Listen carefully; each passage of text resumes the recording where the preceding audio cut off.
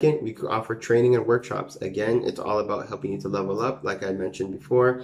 Workshop, like things that we're going to be doing during relationship season. Those are some of the workshops. We have workshops coming, pre-planning, um, um, uh, death pre-planning workshops. We have budgeting workshops, sales workshops, communication workshops, couples workshops.